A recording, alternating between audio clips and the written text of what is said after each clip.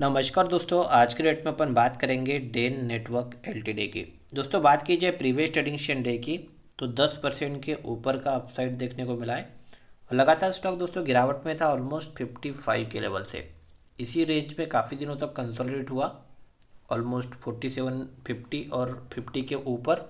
उसके बाद दोस्तों ब्रेकडाउन करते ही बड़ी गिरावट देखने को मिली थी।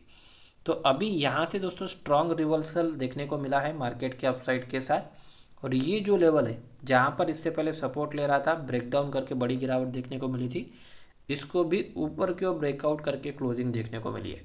तो और अपसाइड दोस्तों यहाँ से डेन नेटवर्क एलटीडी में देखने को मिल सकता है। ये जो हाई है, इसको भी ब्रेकआउट देने की संभावना बनी हुई है।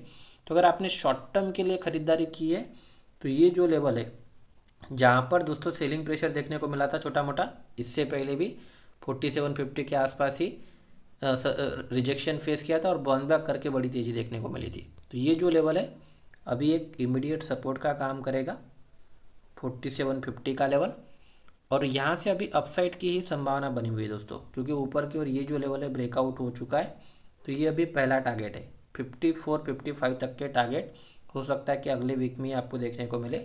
इसके ऊपर अगर ब्रेकआउट देता है तो ये बड़ा ब्रेकआउट रहेगा फिर। उसके बाद आपको सिक्सटी से लेकर सिक्सटी फोर तक के भी target Den network LTD short term में दिखा सकता है।